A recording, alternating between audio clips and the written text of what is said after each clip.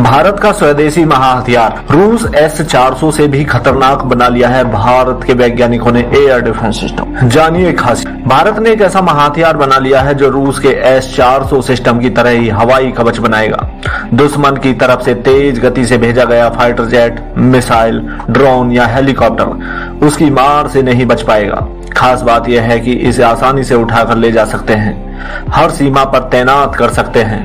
रक्षा अनुसंधान एवं विकास संगठन यानी डीआरडीओ ने 14 मार्च 2023 को एस एयर डिफेंस सिस्टम का सफल परीक्षण किया है, जो एकदम रूस के एस 400 की तरह है।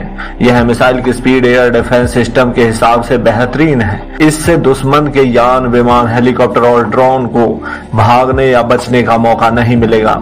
डीआरडीओ ने ओडिशा के तट पर इंटीग्रेटेड टेस्ट रेंज यानी आईटीआर चांदीपुर में बहुत कम दूरी की हवाई रक्षा प्रणाली का सफल परीक्षण किया, वो भी एक नहीं, लगातार दो परीक्षण। इस मिसाइल को ज़मीन पर मौजूद मैन पोर्टेबल लॉन्चर से दागा गया, यानी इसे कोई भी आराम से किसी भी जगह ले जाकर दाग सकता है। चाहे वह चीन की सीमा से सटे हिमालय के पहाड़ हों या फिर पाकिस्तान से सटी रेगिस्तानी सीमा। या सियाचिन का ग्लेशियर। इसकी मदद से तेज गति से आने वाले विमान फाइटर जेट हेलीकॉप्टर मिसाइल या ड्रोन को मार गिराया जा सकता है। बेसिकली एक कम दूरी की इंटरसेप्टर मिसाइल है, जैसे रूस का S four hundred air defence system है। खास बात यह है कि इस हवाई सुरक्षा प्रणाली को देश में ही विकसित किया गया है। इसे बनाने में डीआरडीओ की मदद हैदराबाद स्थित रिसर्च सेंटर इमारत ने की है। भारत के वैज्ञानिक लगातार कुछ कोई ना कोई सफल परीक्षण करते रहते हैं और बार बार दुनिया को चौंकाते रहते हैं।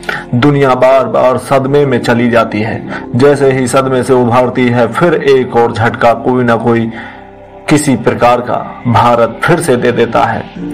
दुनिया बड़ी हैरान है और दुनिया के वैज्ञानिक कोई ना कोई कारनामा कर दिखाते रहते हैं। अपने वैज्ञानिकों के लिए हृदय से सलूट।